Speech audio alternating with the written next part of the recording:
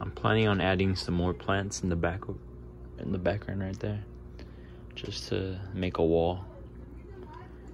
But um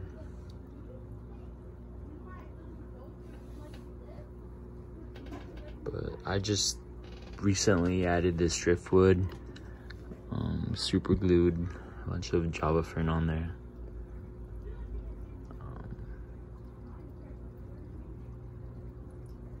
There are my Danios right there just going crazy.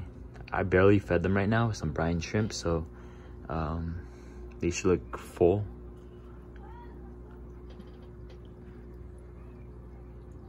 But these are all healthy fish.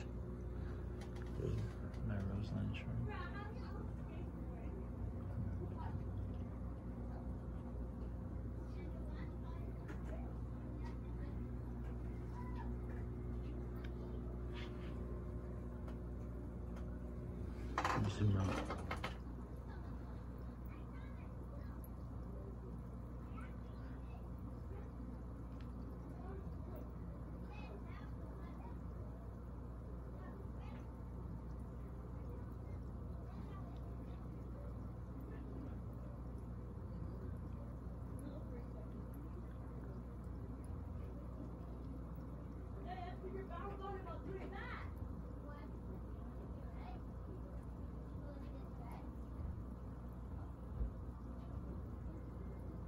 I hope you guys enjoyed watching this video.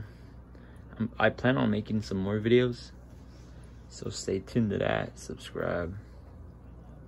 I got some goldfish to show, show you guys and uh, another